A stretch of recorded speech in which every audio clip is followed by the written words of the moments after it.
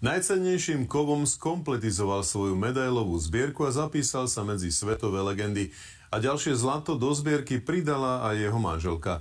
Boris a Mariana Palovičovci sú úradujúci majstri sveta v kulturistike. Po návrate zo svetového šampionátu títo Liptáci vyobímali svoje tri céry a vydali sa do hôr. S Jánom Tribulom si to namierili k Zamkovského chate.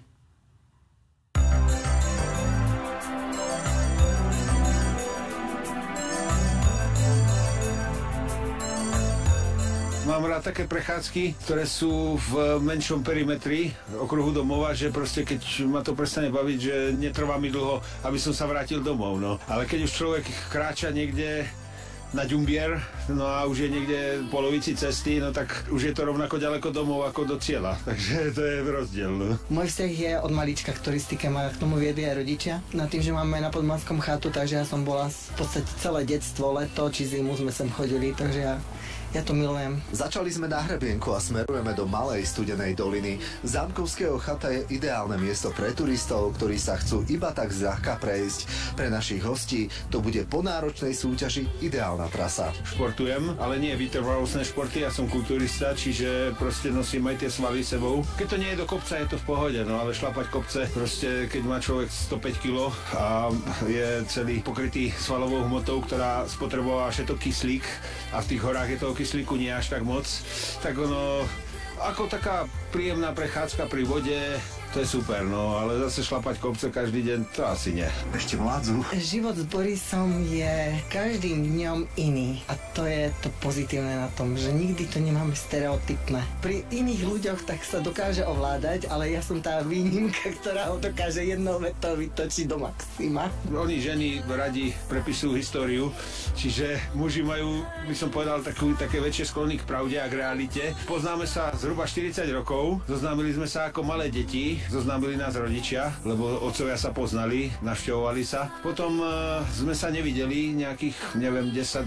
rokov možno a stretli sme sa ako plnoletí. Mali sme už obaja 18 na diskotéke. Tam sme zistili, že sa poznáme od detstva no a začali sme spolu chodiť. Vzťah s Majkou je krásny, ale komplikovaný a to je na tomto krásne. Tým, že spolu žijeme a robíme aj tento šport, tak sme non-stop 24 hodín denne spolu. Je to o zvyku. Ja stále mu hovorím, my sme sa narodili jeden pre druhého. My si nezavadziame a samozrejme ponorka tam príde, kedy sú tie medzi nami také ostré výmeny názorov, ale to vždycky prekonáme, to prejde. Ja som začal cvičiť, keď som mal 14, som cvičil bez prestávky, ale tak vrcholovo som sa tomu začal venovať pred desiatimi rokmi. Popri mne sa tak nejak začala tomu venovať aj moja žena, lebo nakoľko pochopila, že mi to nezakáže proste a že lepšie než tolerovať je si vybudovať k tomu vzťah. Boris Banovič. Jeho úspechy sú výnimočné. Tento rok hviezdil všade, kam prišiel. Získal som tri zlaté medaile aj na Európskom šampionáte, aj na majstrovstvách sveta a to sa nepodarilo žiadnemu pretekárovi na svete doteraz. Najcenejší je titul absolútneho majstra sveta, to je to najviac, čo sa dokázať dá v tomto športe a ja som to dokázal práve teraz. Najväčším vrcholom sezóny bol tento rok, teraz, čo sme boli pred dvoma týždňami v Španielsku na majstrovstvách sveta, tak tam sa mi podarilo vyhrať svoju kategóriu, takže som majsterkou sveta. To bol môj životný úspech. Momentálne mám rovných 150 medailí a z toho 96 zlatých. Ešte chcem získať 4, aby som mal rovných 100 zlatých medailí a potom pôjdem do kulturistického dôchodku. Sparring partner je on výborný, pretože je chlap, a tým, čo ja robím, ja robím body fitness, nie som ako bikini fitness, body fitness sú viac osvalené ženy, ktoré ma ťahá. Ťahá ma, že by som sa posúvala ďalej a prekonávala svoje limity. A toto je náš dnešný cieľ. Nevyzerá to tak hrozne. Toto naozaj stojí za zmienku. Červená značka, teda turistický chodník smerujúci k Zamkovského chate, je zatvorený pre zosu skál, takže treba to obísť. Stratíte iba 15 minút. Ide sa mi parádne, trošku lapám podychu, lebo som posledné 4 dni len jedla. Boris, ako zatiaľ?